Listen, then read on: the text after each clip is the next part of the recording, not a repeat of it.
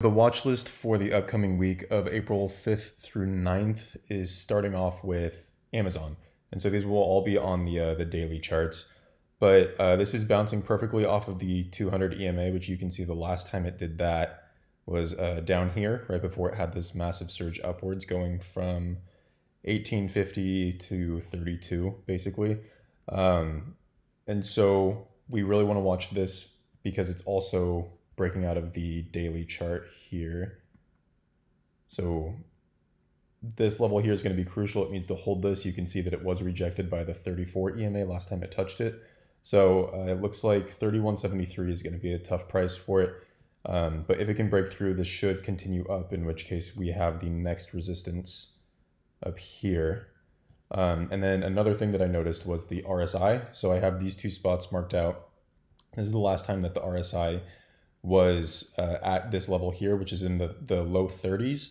And that is exactly where it's at right now. So they were both at the exact same spot. They're at 31.52. And the time that it reclaimed the uh, the bullish, you know, over 50 number, it had this same move that it's having off of the 200 EMA.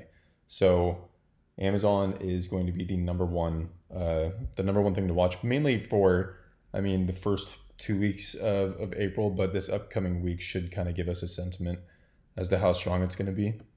Um, so the next one is going to be e- eBay. So again, e-commerce. Uh, and so with eBay, we have this very wide cup, which is nice because we don't have any uh, rapid movements. We have a lot of strong price action going on throughout it.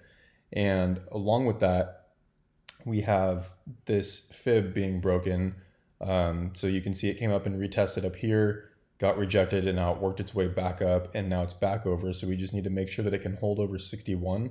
And if it doesn't, then we'll just reevaluate it. But as long as it can hold over 61, um, I'm very confident that this one's going to continue. And we just need to make sure that it can get over 64 from this point. So this is going to be the level to watch. So let me just mark that really quick.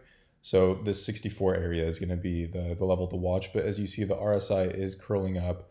Um, the vortex is a little bit uh, wide, but that is confirming that we're in a bullish trend as well. They're not curling back towards each other. So this is something that you want to see on the vortex. Uh, this can keep going up into uh, overextended territory, which would be like this line here. So, uh, and look at the increase it had for that to become overextended. So that's what we want to see going on with with this vortex. We want to see it come up to the 140, 150 area, which uh, which I think it's going to be doing. So that's eBay. Then we'll move on to Costco. And with Costco, uh, so let's move over to the weekly. Um, and so with the weekly, we've got a, uh, sorry, we've got a little bit of a, a cup here. And sorry, let's move back down to daily, we have this bull flag breaking out. Um, so we have this huge cup forming on the, the daily chart. Uh, this was a bear flag forming here that it broke out of. And now we have this, this very nice looking bull flag. So as soon as we can get over this fib here at 358, uh, the next target would be 372.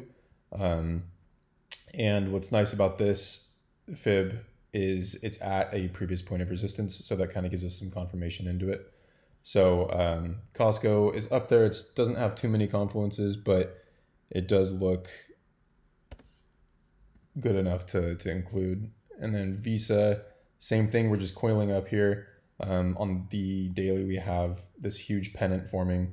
Um, RSI is cro- crossing into bullish territory, but as you can see, it did go past this resistance point and then it wicked back down. So I would assume that we'll drop back down, maybe not to 206 because we have the point of control here, which is heavy, heavy price action. So this is all liquidity. Um, maybe 208, 210 is where we fall back down to before pushing up higher.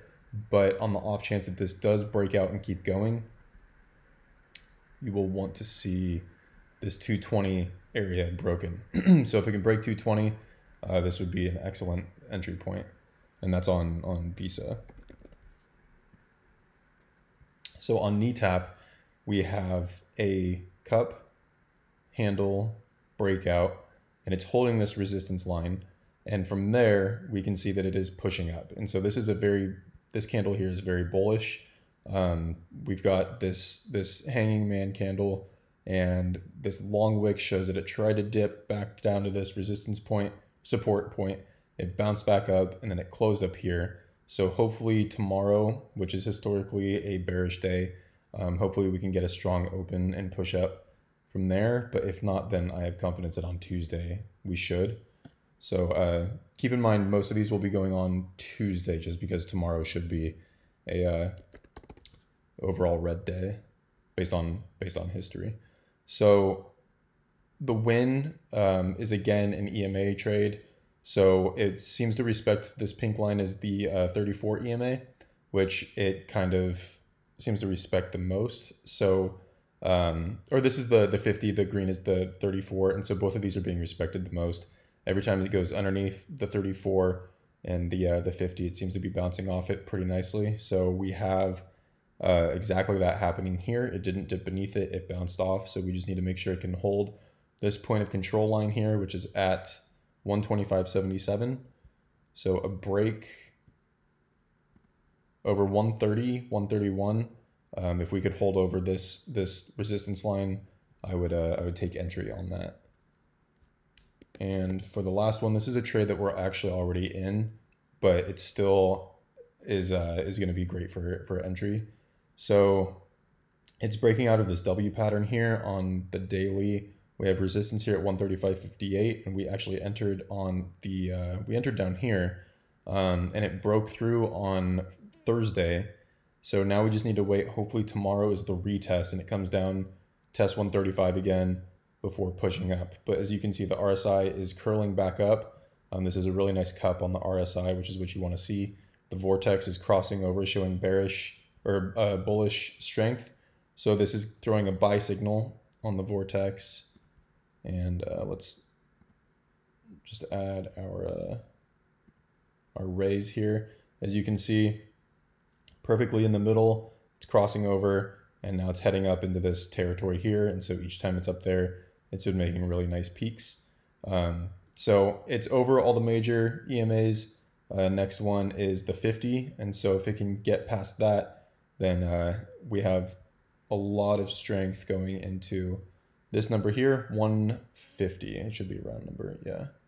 So this 150 area is going to be um, crucial. But until then, we have a 13 point move.